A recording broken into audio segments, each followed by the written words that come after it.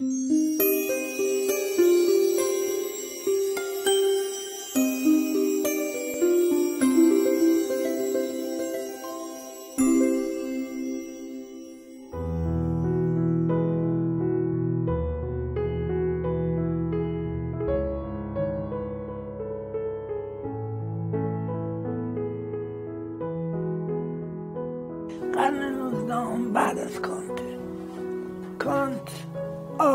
قرن هجدهمه و در سال 1804 پود کرد. یعنی چهار سال در قرن نوزدهم زندگی کرد. فلسفه کانت که از 1700 فلسفه نقادی کانت از 1780 کتاب اول چاپ شده. در سه صورت. فلسفه نظری یعنی شناخت. علم یعنی شناخت. فلسفه عملی عقل عملی یعنی اخلاق. بعد اون کتاب سوم اسمش هست نقد حکم. یعنی هنر بحث درباره هنر. در سه موضوع فلسفه نقادی عقل محض درباره شناخت علم فلسفه نقد عقل عملی درباره اخلاق فلسفه نقد حکم درباره هنر. علم اخلاق هنر. این سه موضوع اصلیش. اگر وارد جزئیات نمیشم ولی راجع به قسمت به خصوص فلسفه نظری کانت اولی من این کتابام در همشون بحث کردم. به خصوص اون قسمت اول. چون به نظر من مهمتره. بعضی ها قسمت هنری رو مهمتر می‌دونم برای اینکه یه آزادی برای انسان قائل میشه. اگر در علم اصل موجبیت اصله در اون هنر اصل موجبیت نیست که اصلا میپاچه. متوجه هستید؟ یعنی آزادی خلاقیت. یه هم چیزی. حالا بگذاریم. ولی بعد از کانت اونجا چیز تازه خواهد بود برای شما. سه تا فیلسوف اصلی در آلمان پیدا میشه. یکی فیخته است که هزار و آخر قرن هجدهم به دنیا اومده و در دوازده سال اول قرن نوزدهم پود کرد. این در جنگ با در دوره جنگ از تیفیس مرد. جنگ بوده ناخوش شده مرد. نسبتا جوان بود دومی شلینگه که فوق العاده جوان شهرت 20 سالگی دانشگاه اصلا میدوزیدنش از این دانشگاه دستش میگردن دانشگاه دیگه درس می‌داد از اونجا به جای دیگه. یه شهرت عجیبی شرنگ جوان داشت. یه خودش هم علتش گوته است. گوته حامیش بود. ولی خودش خیلی درخشان. من شخصا خیلی دوست دارم. یکی سومی هگل. هگل سی سال در قرن هجدهم زندگی کرده. هزار و هشتصد و سی و یک مرده. سی و یک سال در قرن نوزدهم. جمعا شست و یک سال عمر کرد. ولی شلینگ که جو... پنج سال از او جوان تر بوده شاید هم بیشتر از او جوان تر بوده شهرتش خیلی زود رس بوده و هگل برعکس شهرتش بسیار دیر رس بود. یعنی تا سی و پنج چه سالگی هنوز کار اصلی نکرد. اون شلینگ همه کاره بود و به کمک شلینگ هست که تو دانشگاه ها بهش درس می‌دادن اولش. ولی بعد می‌زنه جلو. مثل اینکه یه تفکر پخته تری لازم داشته ها. این خود خود این یه مسئله است. حالا این سه نفر هر سهشون نظر به کانت دارم. من برای اینه که کانت شرط نکردم برای اینکه این نکته رو به شما بگم. فیخته قسمت نقادی عقل عملی کانتو گرفت. اخلاق کانتو اون کتاب گرفت اخلاق. شلین که بعد از فیخته به شهرت رسید جوان قسمت نقد حکم گرفته. اون جنبه خلاقیت و هنری رو گرفته. هگل اون کتاب اول رو گرفت. نقد عقل نظری می‌دونید چجوری؟ فیخته بر اساس کتاب نقد خرد عقل عملی بحث کرده. شلینگ از از تاریخی شهرتش اوله. یعنی قبل از شلینگ شلینگ بر, بر اساس که سنش از هگل هم کمتره هنر بحث کرده. هگل با کتاب اول. دیالکتیک اول. خیلی وقتی که فیخته آثار کانت رو می‌کنه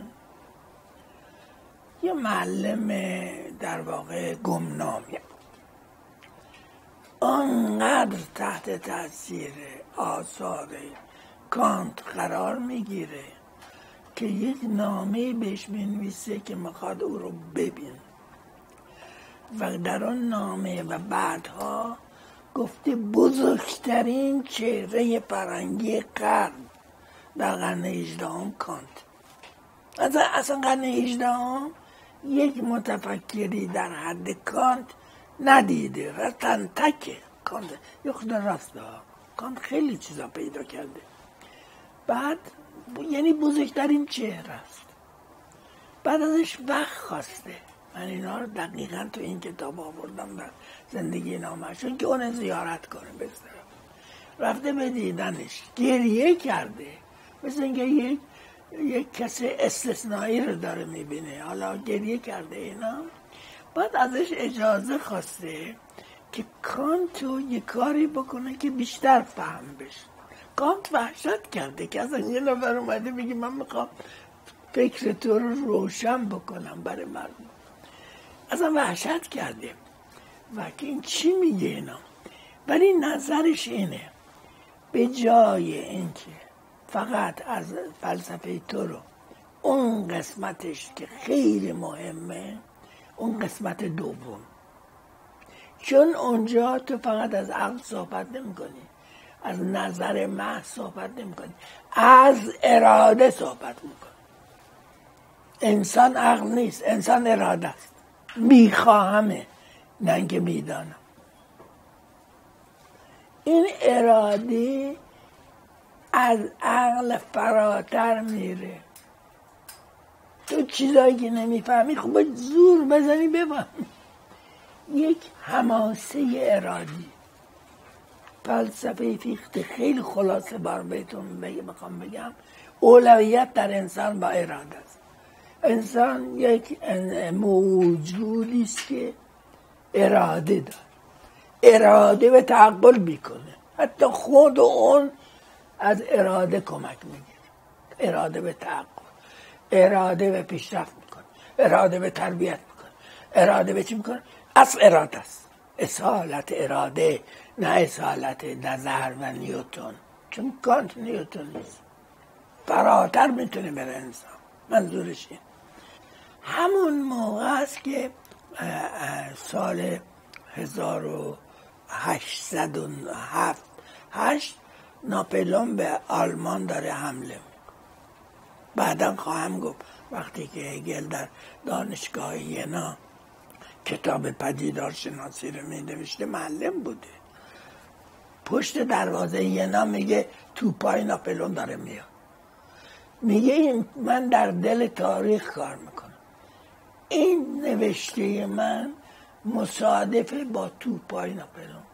یعنی همانطور که جهان در بحرانه نوشته من اینی می‌خواد در بیاد. ما وقتی اصیل هستیم که در اینجا و اکنون می‌کنیم.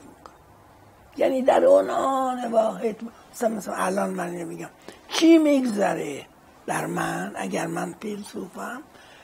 اینه باید نسبت به مکان معین زمان معین تعیین کن یعنی لغتش هیر نون دیزس اینجا اکنون و این و این چیزی که راه میده. می‌دونی؟ این با فکر واقعی کنه این با هگل خواهیم فهمید. حالا حالا کاری نداره ولی این چیزه. حالا فعلا فیخته است. همون موقع است که ناپلون داره اروپا رو داره قصد می‌گیره.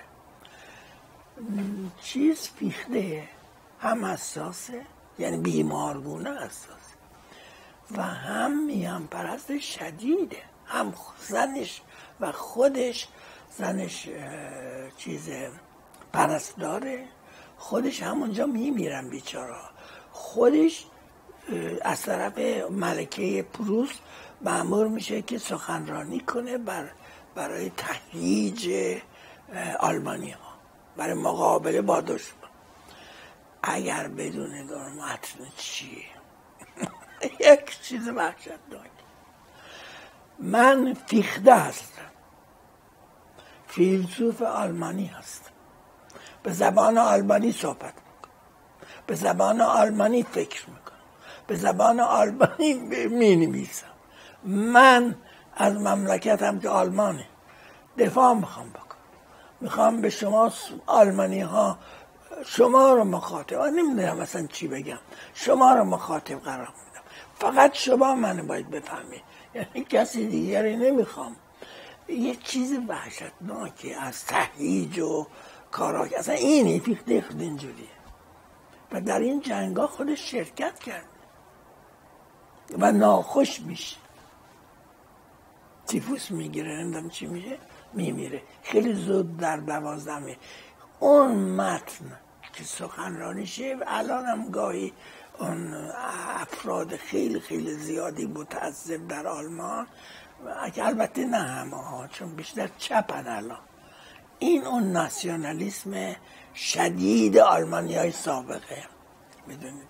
هستش ولی میگن فیخته فیخته بمیره. کتاباش هم خیلی چیزاش خوندنیه. برای اینکه میگه اون چه که فلسفه رو شروع می‌کنه اراده است. من می‌خوام فکر کنم به چی؟ باید فکر کنم نه اینکه فکر در من هست.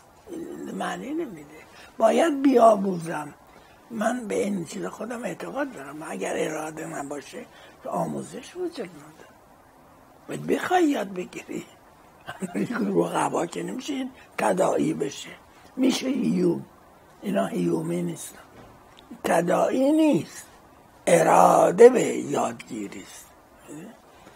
حالا دومی که شرین باشه خلاقیت هنری رو در نظر می‌گیره. شعر در نظر می‌گیره.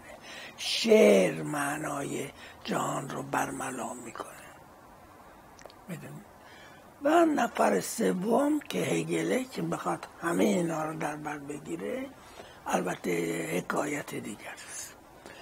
اولین کتابی که نوشته چاپ شده ازش من خوندم آنو اختلاف نظر میان شلینگ میان فیخته و شلینگ اختلاف اینا چیه؟ اون چه جوریه؟ این چه البته ایگر به طرفدار شلینگ میگه شلینگ اراده میگه ولی اراده برای خلاقیت.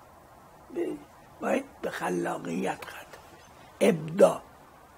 اون شلینگ کتابی است که خودش مثل اینکه کسی نیست. در خدمت دوستش همکارش که از اون جوان اینا در دانشگاه ینا که خیلی دانشگاه مهمیه یه مجله اولین مجله فلسفی آلمان رو بنیانگذاری می‌کنن که پنج شمار هم از اون چاپ شد. مقالاتی که هگل اونجا چاپ کرده مقالات شلینگ اونجا چاپ کرده بعضیاش با هم نوشته شد. با هم نوشتن یعنی معلوم نیست همش مال اینه یا همش مال اونه. ولی اولین کارهای نوشته های ایناست. ولی بعد شلینگ چون خیلی طرف توجه از ینا میره و هگل تنها در ینا کار می‌کنه و اون کتاب پدیدارشناسی روح رو می‌نویسه. بقیده من کسی که بخواد هگل رو بفهمه بشناسه باید اول اون پدیدارشناسی روح رو بخونه مطالعه کنه. با اینکه بهترین کتاب هگل نیست. ولی یک کتابی است که شما می‌فهمید. جوری نوشته شده که شما می‌فهمید و با خوندن اون راهی برای شما واز میشه که هگل رو بفهمید.